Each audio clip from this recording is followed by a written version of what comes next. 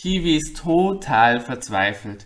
Er will seiner Mutter zum Geburtstag einen Kuchen backen und hat sich folgendes Rezept herausgesucht. Nämlich 500 Gramm Mehl, 3 Viertel Kilogramm Zucker und 5 Achtel Liter Milch. Nur, was sind 3 Viertel Kilogramm Zucker und was sind 5 Achtel Liter Milch? Das müssen wir uns einmal genauer ansehen. Und dazu braucht Kiwi Bruchteile von Größen.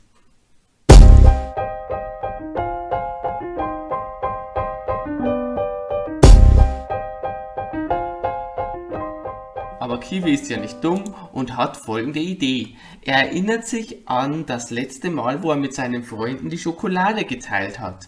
Damals hat er gesagt, ich teile, ich habe zwei Freunde, die kommen, ich will also drei Stückchen Schokolade, ich teile also meine Schokolade in drei Teile. Wenn jetzt nur ein Freund kommt, dann hat dieser Freund einen Teil der Schokolade, also ein Drittel, und ich selber bekomme zwei Drittel der Schokolade. Und genau dasselbe könnte ich ja jetzt mit dem Zucker machen. Also nimmt Kiwi einfach einen Kilogramm Zucker. Und was muss er machen? Er muss dieses Kilogramm Zucker eben in vier gleich große Teile teilen. Hm, jetzt hat er aber noch ein Problem. Ein Kilogramm Zucker in vier gleich große Teile teilen? Auch hier hat Kiwi eine Idee. Er weiß nämlich, dass ein Kilogramm von letzten Jahr 1000 Gramm sind, also hat einer Haufen der Zucker genau 250 Gramm. Jetzt weiß er, ein Viertel von einem Kilogramm Zucker sind 250 Gramm. Er braucht aber drei Viertel davon, also 750 Gramm. Genauso macht er es mit der Milch.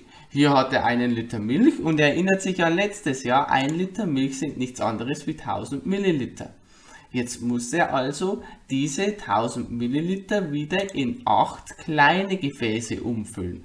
Jetzt muss man überlegen, wie viel, wie, viel passt dann in ein Gefäß rein. 1000 geteilt durch 8 sind 125 Milliliter. Und wenn er 8 mal diese 125 Milliliter hat, ist er wieder bei 1000 Milliliter und bei diesem einem Liter. Und er braucht genau 5 Teile davon, also 5 mal 125 Milliliter und das wären 625 Milliliter. Wie geht man jetzt mathematisch dabei vor? Man hat also drei Viertel Kilogramm Zucker. Man muss sich also erst einmal schauen, drei Viertel Kilogramm geht nicht. Ich muss jetzt erstmal die nächst kleinere Einheit, nämlich in Gramm.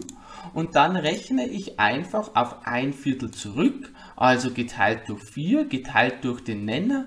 Dann bleiben mir 250 Gramm. 250 Gramm sind eben genau ein Viertel von 1000 Gramm. Ich will aber drei Viertel haben, also muss ich nochmal 3 rechnen und dann habe ich 750 Gramm. Das Ganze geht natürlich auch bei Metern zum Beispiel. 2 Fünftel Meter. Hier rechne ich einfach zum Beispiel auf Zentimeter. Ich hätte auch auf Dezimeter rechnen können.